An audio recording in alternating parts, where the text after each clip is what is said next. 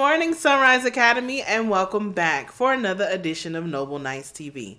My name is Miss Franklin. And I'm Mrs. Grimes. And today is Friday, November 3rd, 2023. Please stand for the Pledge of Allegiance, Star Spangled Banner, and Knight's Pledge. I pledge allegiance to the flag of the United States of America and to the republic for which it stands, one nation, under God, indivisible, with liberty and justice for all.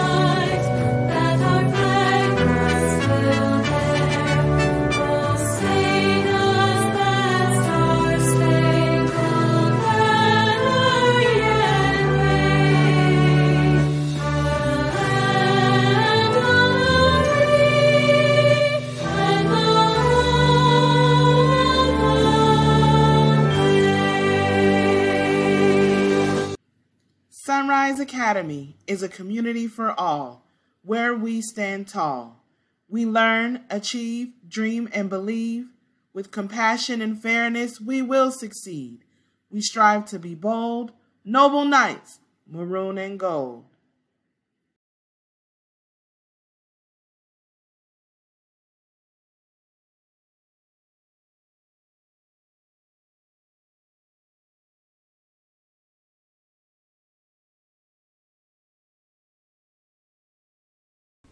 Thank you. You may be seated. For the weather today, we have a high of 77 degrees and partly cloudy. For lunch today, we have meatloaf, mashed potatoes, fresh bananas, dinner rolls, and of course, milk. Gotta get that milk. Milk. Gotta get that milk. All right. And now for our star students. So for kindergarten, we have Maddox Carlin. First grade, Jared Furman. Second grade, Ryling Hills.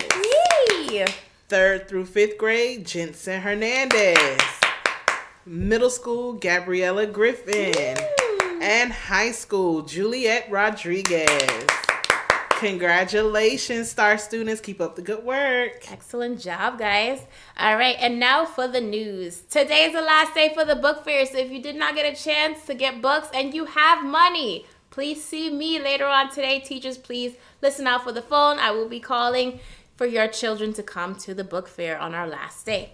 As well as today is Retro Day, so you should be looking like a blast from the past or your most retro.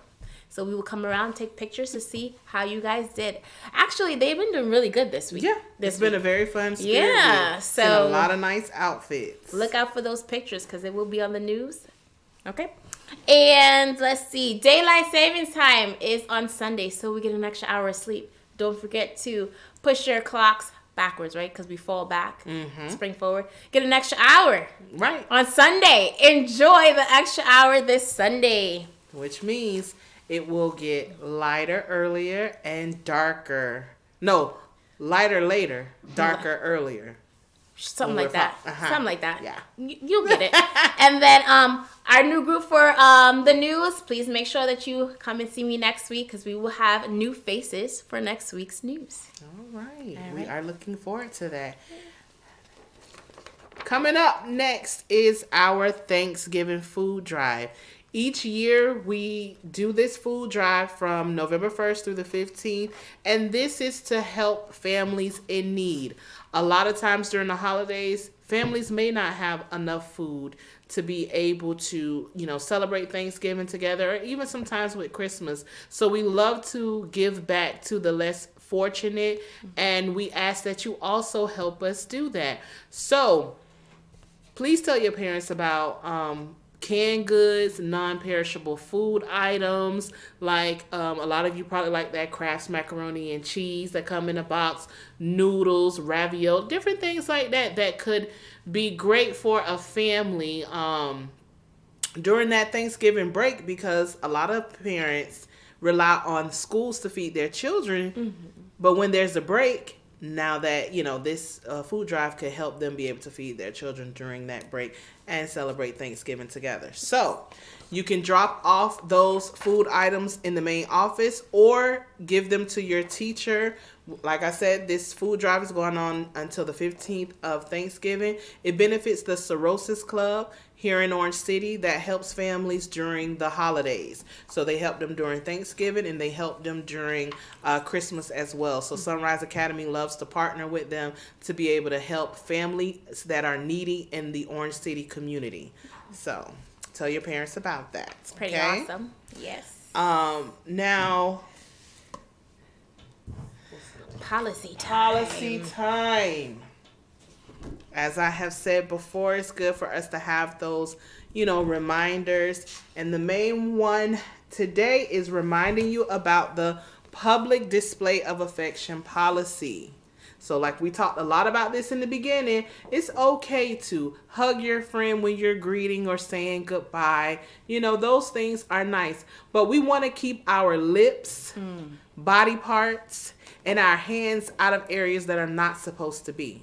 So, particularly if you have a boyfriend or a girlfriend, especially our high school students, none of this stuff in the hallways. Be the example for the little ones. Or in the classrooms. Or in the classrooms. So, if we see it, it is a problem. None of that. Keep that public display of affection appropriate for school. And all of that other stuff, don't do it here. Teachers write it up, right? Write it up. Send them to the office. Send them to the office. We don't want that in the hallways. We so moving forward, food, drink, and gum policy. No eating, no drinking, no chewing gum, you know, in school. The only thing that's allowed in the classrooms is water in your water bottle. So please, no juice, no Gatorade, no nothing, no outside food. None of those things are allowed in the classroom. Again, teachers, if students are breaking this policy, please refer them to the office. By now, we all know what our uniform is, as well as what's expected of us during our dress down day. But if you need a reminder, you're supposed to have on your uniform polo shirt, your uniform sweater, and your uniform bottoms. Okay? So, we had our spirit week this week, so a lot of people had on different things. Mm-hmm. So, but come next week, we are back to our uniform, and if and it is getting colder, so if you do not have a uniform sweater, please remind your parents because other sweaters and jackets will not be allowed in the classroom.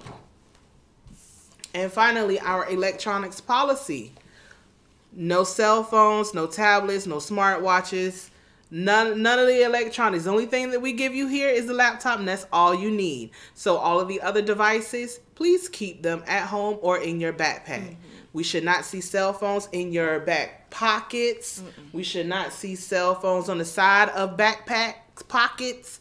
Please keep everything out of sight. If a teacher, faculty uh, member sees these items out, you will be referred to the office. So please we were doing very well, but now we're having our reminder during quarter two of these policies. And again, teachers, if students are breaking those policies, by now they know what they are. Please refer them to the office. Yes.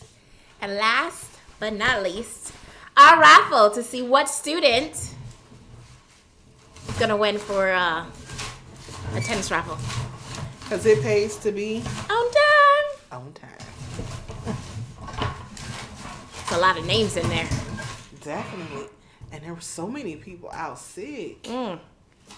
So, public service announcement if you are sick, please stay home. Close your eyes. If you need to cough, please do it in your arm, not in your hand. Or in your shirt, please. or in your shirt. Please use plenty of hand sanitizer.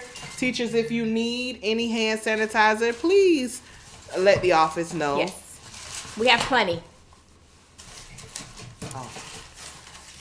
And the moment of truth. And, and we have Nian Rubio.